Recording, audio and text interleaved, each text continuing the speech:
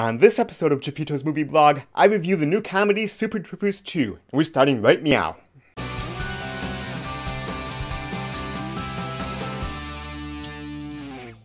Welcome back to Jeffito's Movie Blog. I'm Jeff Malicki, and on this channel I bring you movie news, movie reviews, trailer reaction videos, box office predictions, and so much more. If you love movies as much as I do, hit that subscribe button, and then make sure that you hit the little bell notification icon so that you don't miss anything. Fired for the previous shenanigans, former Vermont Highway Patrol officers Thorny, Farva, Rabbit, Foster, and Mac get a shot at redemption from Captain O'Hagan and Governor Jessan. The Wacky Quintet must provide law enforcement for a French Canadian town that's transitioning to U.S. sovereignty. Their unconventional methods soon get put to the test when they encounter a smarmy mayor, mischievous Mounties, a smuggling ring, and a 1,300 pound bear. Super Troopers 2 stars Kevin Heffernan, Steve Lemme, Paul Soter, Erik Stolhanske, and Jay Chandrasekhar. It is rated R for crude sexual content and language throughout, drug material, and some graphic nudity.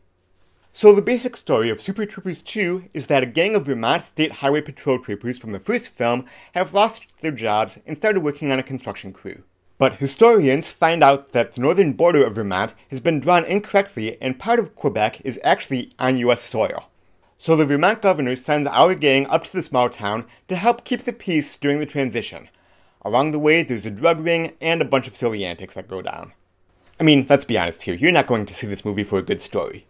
This movie relies heavily on making fun of Canadians, the French Canadian accent, and the metric system. It does seem like the cast fell right back into the roles and didn't really miss a beat, and in that regard, it feels a bit like the original. But that can also be a little bit of a negative, because it does feel like they hit a lot of the same story beats and a lot of the same comedic beats in this movie.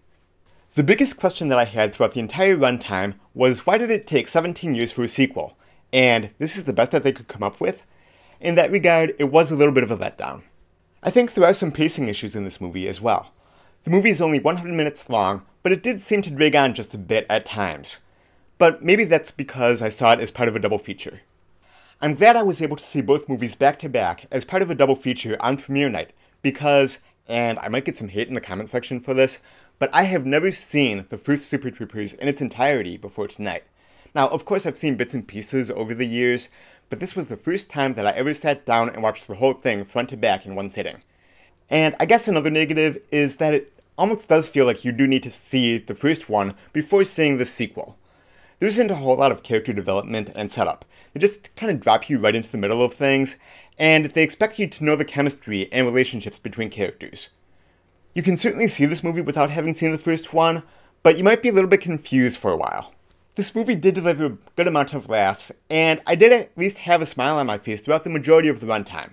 A comedy can be forgiven on weak story and weak characters and all that if it makes you laugh, if it's funny.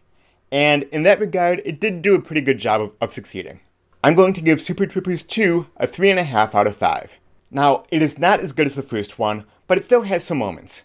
It's certainly better than some of the other comedy sequels that have come out many years after the first one, it is better than Anchorman 2, Dumb and Dumber 2, Zoolander 2, and I did enjoy this one quite a bit. I think that if you're a fan of, of the first movie, then you'll probably enjoy this one as well.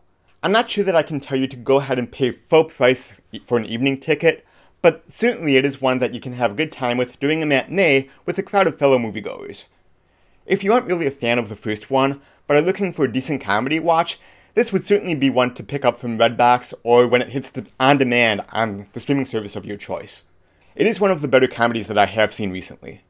And be sure to stick around during the credits because there are bloopers while the credits roll and a post credits scene tacked on at the very end. Have you seen Super Troopers 2 yet? If so, what do you think? What are some of your favorite stoner comedies of all time? Whatever you think, leave a comment down below and let's talk movies. Thanks for tuning in to this episode of Jeffito's Movie Vlog. You can watch more by clicking right over here. If you haven't subscribed to my channel yet, do so right now by clicking that round icon with my picture on it. If you like this video, hit the thumbs up button and then share it with other movie fans in your life. Thanks again for watching, and until next time, I will see you at the movies. Bye-bye.